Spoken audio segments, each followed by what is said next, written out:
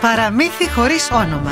Ένα έντεχνο αλληγορικό διαχρονικό μυθιστόρημα της Πινελόπης Δέλτα γίνεται θέατρο για να διασκεδάσει και συγχρόνως να διδάξει μικρούς μεγάλους. Μια παράσταση γεμάτη χρώματα, μουσική και τραγούδια με την υπογραφή της Κάρμεν Ρουγκέρι και των συνεργατών της. Ένα παραμύθι χωρίς όνομα αλλά γεμάτο νόημα. Θέατρο Κιβωτός, Πυραιός 115, κάθε Κυριακή δύο παραστάσεις, 11 και 4 και 3. Τηλέφωνο 210 34 17.000.